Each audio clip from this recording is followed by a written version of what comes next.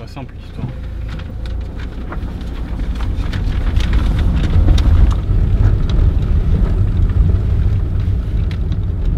On fait un relevé parcellaire sur toute la commune de Cals et après euh, il y aura un plan euh, de proposition au niveau des aménagements de territoire. Tout ça pour favoriser l'espèce euh, phare, euh, la perdrix rouge et euh, tout son ensemble, tout son cortège qui va avec. On devait être pas loin de la 1364 je pense. Faut être précis sur la localisation. Ouais, il faut être assez précis pour les parcelles avec l'aide de, de la géolocalisation. Ça nous permet de- d'avoir les parcelles euh, une par une, quoi. Enfin, et d'être le plus Ouais. juste au niveau de la de la, du protocole euh, mis en place pour euh, le relevé végétatif, quoi.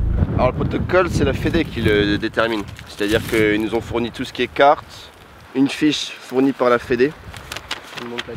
Donc ça, c'est- ouais, on peut appeler ça une nomenclature. C'est-à-dire que personne veut en fait. C'est vraiment un tableau qu'on doit suivre.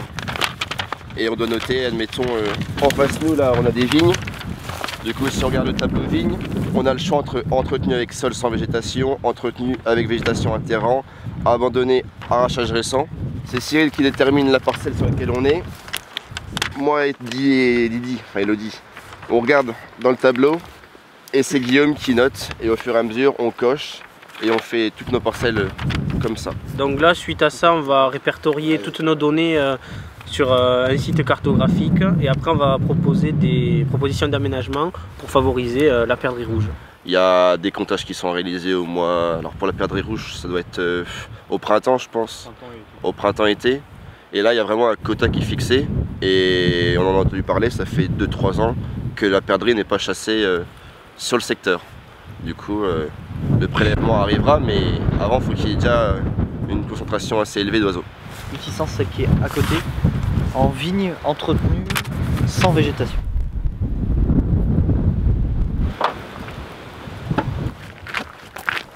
Ce qui est moins favorable, c'est les milieux vraiment fermés.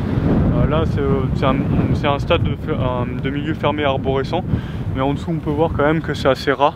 Euh, donc euh, la, la peut vraiment se, cacher euh, et trouver ce qui comme zone de refuge. Là où ça serait vraiment délicat pour elle, ça serait vraiment si ça serait des étages complètement fermés, impénétrables, ou même pour nous. S'il n'y avait pas eu d'activité humaine sur un territoire, eh ben, on serait tombé en forêt. Donc finalement, eh ben, la perdrix rouge, elle n'aurait jamais pu se développer. Donc finalement, on peut dire qu'en conclusion, l'activité humaine favorise les espèces de milieux ouverts. Pour être chasseur également, moi je viens d'une autre région. On a pas mal d'aménagements sur tout ce qui est des cultures en fait euh, pour euh, gérer les populations en général ou d'autres aménagements de type euh, plantation de haies, etc. Pour moi, les chasseurs, j'appelle ça des gestionnaires de l'environnement parce qu'ils sont sur le territoire et c'est eux qui vont trouver les meilleures solutions sur l'aménagement parce que c'est eux qui vont avoir la connaissance de ce territoire.